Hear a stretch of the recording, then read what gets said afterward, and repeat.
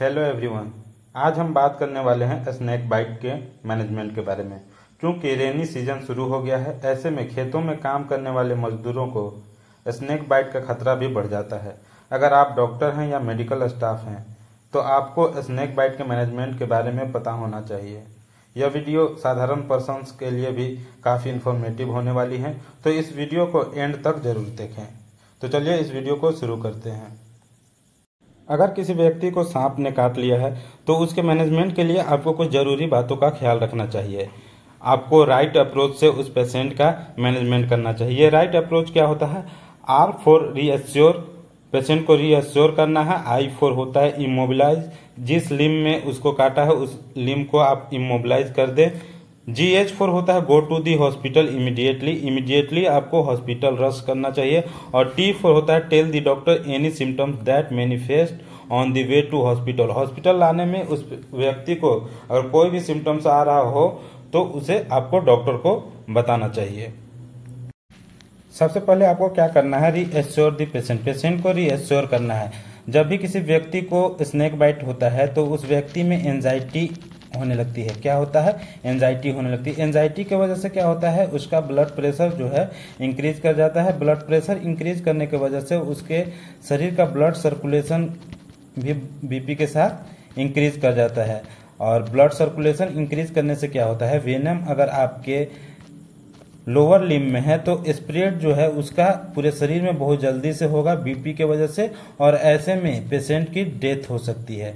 ठीक है? तो आपको पेशेंट को रिएश्योर करना है कि स्नेक बाइट जो होता है वो 70 परसेंट नॉन वेनेमस होता है 70 परसेंट जो होता है वो बिना जहर का होता है और केवल 30 परसेंट वेनमस होता है, यानी कि जहर होता है। और उस भी 30 परसेंट में 50 परसेंट जो होता है ड्राई बाइट होता है और केवल 50 परसेंट एक्चुअल बाइट होता है। ये ड्राई बाइट का होता है, सांप तो काटता है, लेकिन ऐसे में वो जहर नहीं छोड़ पाता है और केवल 50 परसेंट एक्चुअल बाइट होता है।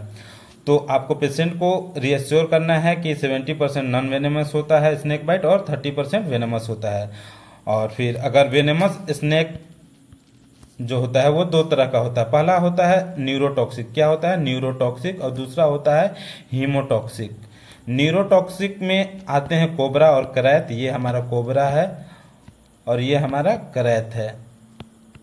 और हीमोटॉक्सिक में आते हैं Russell viper, saw scale viper और हॉप नोज़ वाइपर।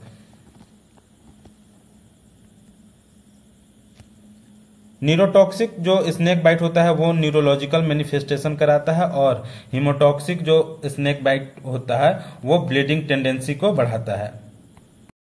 तो चलिए अब हम बात करते हैं कि आप डिफ्रेंशिएट कैसे करेंगे वेनमस स्नेक बाइट और non venomous snake bite.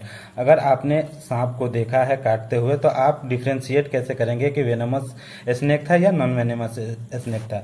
Venomous snake का हैबिट जो है, वो नॉकचूर्नल होता है। ये क्या होता है? नॉकचूर्नल ये ज़्यादातर रात के समय काटते हैं। और नॉन वेनेमस जो स्नेक का हैबिट जो होता है नॉन एसिफिक होता है, ये किसी भी टाइम में काट सकते हैं। और वेनेमस स्नेक का हेड स्केल जो होता है यूजुअली स्मॉल होता है और नॉन वेनेमस स्नेक का यूजुअली लार्ज होता है। वेनेमस स्नेक में थ्री एक्सेप्शन हैं जिनका स्केल जो है यूजुअली लार्ज होता है। पहला पीट वाइपर दूसरा है कोबरा और तीसरा है क्रैत पीट वाइपर कोबरा और क्रैत का जो हेड स्केल होता है वो यूजुअली लार्ज होता है। अब बेली स्केल कैसा होता है? वेनमस स्नेक का लार्ज होता है और नॉन वेनेमस का स्मॉल होता है। टेल जो होता है कंप्रेस्ड होता है और नॉन वेनेमस स्नेक में टेल जो होता है नॉट कॉम्प्रेस्ड होता है। फैंक्स जो होता है, जिससे वो बाइट करते हैं, वो यूजुअली लॉन्ग होता है वेनमस में और शॉर्ट और स्मॉल ग्रुप टीथ होता है नॉन वेनमस में। बाइट मार्क अगर वेनमस स्नेक का देखें तो टू फैंक्स मार्क होता है दो जगह पे। आपको मार्क्स देखने के मिलेंगे बाइट मार्क और स्मॉल टीथ मार्क्स होता है नॉन वेनमस में। यहाँ पे यूजुअली आप देखेंगे जो वेनमस स्नेक जो होते हैं, उसका जो बेली का पैटर्न जो होता है यूजुअली कैसा होता है? लार्ज होता है। और नॉन वेनमस का जो है, वो स्मॉल स्मॉल पार्ट में, दो पार्ट में बटा हुआ रहता है। और जो टेल जो होता है नॉन वेनमस का, वो स्मॉल होता है। कैसा होता है?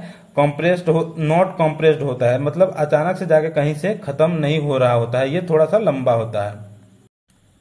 तो चलिए, अब हम बात करते हैं इमोबिलाइजेशन के बारे में। अगर किसी भी व्यक्ति को सांप ने काट लिया है तो सबसे पहले हमारा जो काम होता है रिएश्योर करेंगे पेशेंट को, और दूसरा जो काम होता है, उस, उसमें हम इमोबिलाइज करेंगे। अगर किसी भी हाथ या पैर लोअर लिम या अपर लिम में अगर स्नेक बाइट हुआ है तो उस लिम का इमोबिलाइजेशन करेंगे। और क्या करना है? Don't walk this prevent faster spread of venom venom के स्प्रेड को रोकता है। अगर वॉक करेंगे आप तो जो वेनम का स्प्रेड है, वो फास्टर होगा। ऐसे में आपको वॉक नहीं करना चाहिए।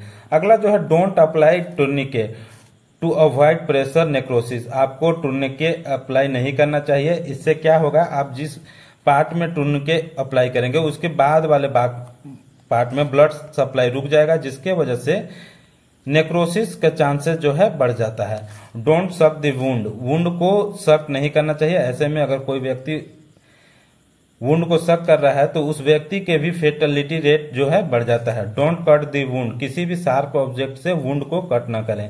तो इमोबिलाइजेशन में क्या करना है? आपको डोंट वॉक और इमोबिलाइजेशन कैसे करना है? अगर लोअर लिम में आपको सांप ने काटा है या किसी व्यक्ति को सांप ने काटा है तो उस लिम का इमोबिलाइजेशन करेंगे, जैसे फ्रैक्चर में हम लोग करते हैं वैसे। डोंट वॉक वॉक नहीं करना है, don't apply tourniquet tourniquet apply नहीं करना है, और डोंट सक दी वुंड वुंड को भी सक नहीं करना है। ऐसे में जो व्यक्ति उस वुंड को सक करेगा, उसका भी फर्टिलिटी रेट बढ़ जाता है। तो चलिए, अब हम बात करते हैं ट्रीटमेंट ऑफ़ स्नेक बाइट के बारे में। कि आपको ट्रीटमेंट क्या क्या करना है। If tourniquet is already applied अगर कोई पेशेंट आपके क्लिनिक में आता है और उसके हाथ या पैर में ऑलरेडी टूर्निके अप्लाई है तो ऐसे में आपको टूर्निके को है जो अचानक से नहीं काटना है। अगर आप अचानक से काटते हैं तो इसका असर क्या होगा? एक्सटेंसिव स्प्रेड ऑफ़ पॉइजन और ये क्या में रिज़ल्ट करेगा? डायफ्रागमेटिक शॉक और sudden onset of hypotension sudden onset of hypotension होगा, जिससे पेशेंट की डेथ हो सकती है, ठीक है?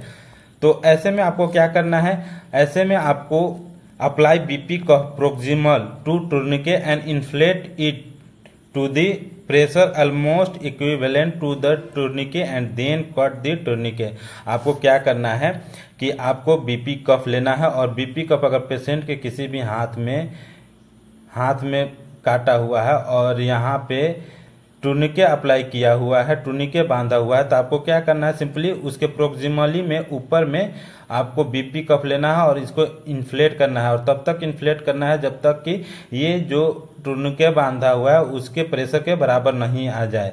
और जब आप इसको इन्फ्लेट कर लेंगे, तब ऐसे में फिर इस टूनिकों को काटना है और फिर आपको धीरे धीरे बीपी कफ को डिफ्लेट करना है।